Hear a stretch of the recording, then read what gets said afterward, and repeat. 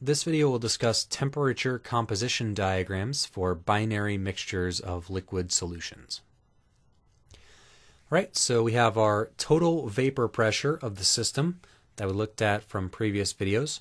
We looked at these as a function of the mole fraction of component 1 of, of our two component mixture in the liquid phase and our mole fraction of component 1 in the gas phase. We saw that the total vapor pressure of the system is equal to the vapor pressure of pure liquid 2 minus the mole fraction of component 1 in the liquid phase times the difference in the pure vapor pressures of pure liquids 1 and 2, P2 star minus P1 star. We saw something different if we express this in terms of the mole fraction of component 1 in the vapor. If if component 1 had a higher uh, vapor pressure, then it is the more volatile component, and the gas should have a higher mole fraction of 1 than the liquid does. So what we saw there is that the total vapor pressure is equal to the vapor pressure of pure liquid 2 plus 1 over, notice there's a to the minus 1 power here, 1 over 1 plus chi 1g, the mole fraction of component 1 in the gas, divided by P1 star, times P2 star minus P1 star. Okay, and we both we also know that vapor pressures of liquids vary with temperature because the boiling point of a liquid is where the vapor pressure equals the external pressure. So the vapor pressure of liquid pure liquid 1 and the vapor pressure of pure liquid 2 vary with temperature.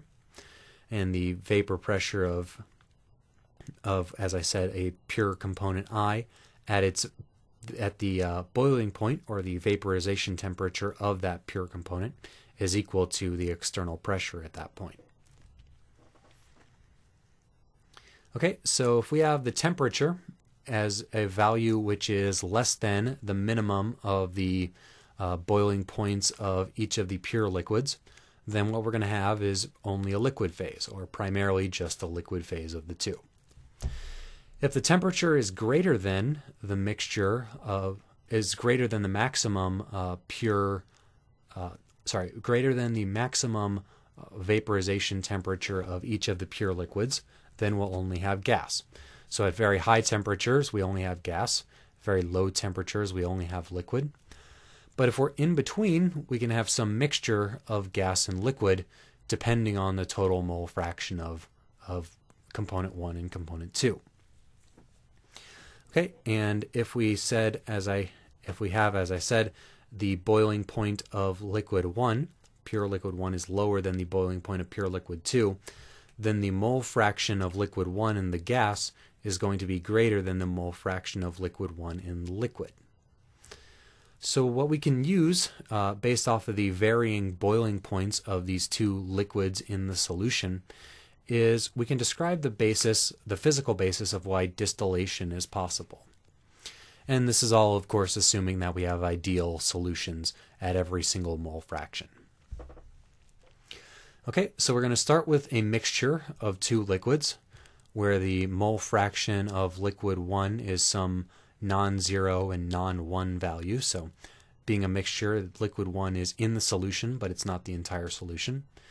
So for example, as I have it drawn here, this is about, uh, chi 1 is about 0.3, or it's about 30% liquid uh, component 1. We're going to heat to about the vaporization temperature.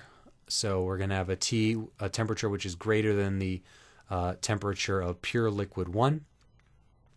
We're going to collect the vapor that results at that temperature. So at this temperature here, we have the uh, mole fraction in the liquid is about 0.3, but the mole fraction in the vapor is about 0.85. So we're going to heat up to this temperature and collect the vapor that we get as a result. We're going to condense that vapor back down into liquid. So now it's liquid which is more enriched with component 1. So this is now uh, chi 1L step, uh, step 1.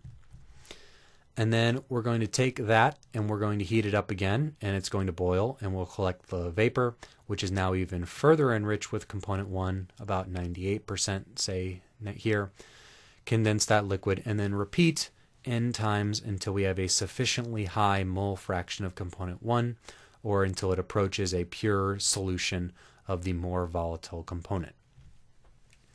So because of the varying uh, vapor pressures of the two liquids, they have different boiling points. Because of those different boiling points, there's a different equilibrium mole fraction of component 1 in the vapor and in the liquid.